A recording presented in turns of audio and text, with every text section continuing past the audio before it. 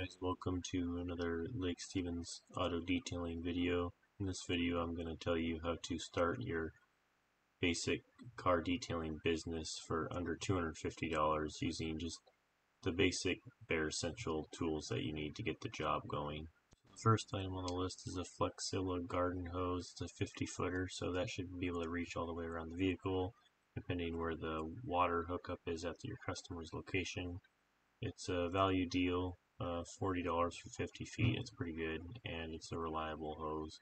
I've got a 10 foot one that I use for my pressure washer for my business and it works great. First starting out your detail business, we're not going to be buying a pressure washer so we'll be using a water spray nozzle here provided.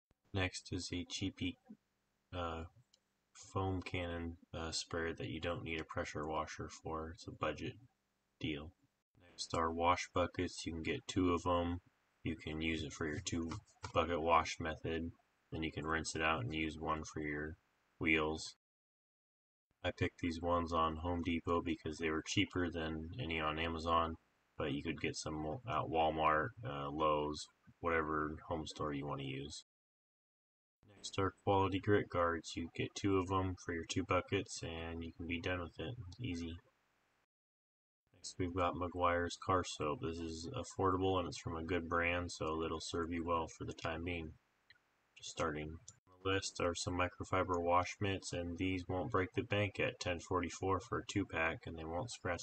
Next is P&S interior uh, cleaner. You can use it for any surface on the inside I'd use a dedicated glass cleaner if you can for the glass surfaces, but it's safe on leather, uh, interior trim panels, anything like that. You can dilute it one to one or use it straight. It's up to you. Next is this bargain value of microfiber 100 pack towels. They're not super absorbent, but there's a lot of them, and so you'll it'll last you for a while, and they're cheap, so it'll help you get started on a budget. Next thing is some protection after you wash the car and you can use Meguiar's Quik Wax Instant Gloss. It's a cheap price and it's a good quality product that'll give you some protection for a few weeks. Here's another affordable item, some uh, Tire Wet Black Magic. It's not water based but it'll get the job done to start you off.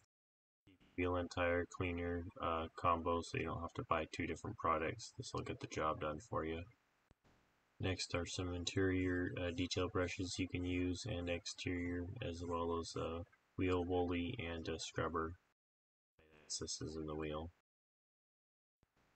Next we got a quality wet dry vac from Stanley. It's a 6 gallon 4 horsepower so it's going to have plenty of suction and it'll get the job done um, with ease.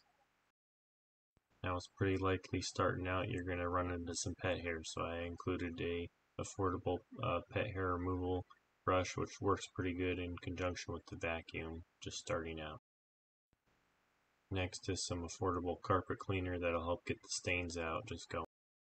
This Garage odorizing carpet and upholstery cleaner. It'll do the same job as the other one just a little higher quality and it'll help eliminate some of those stinky odors.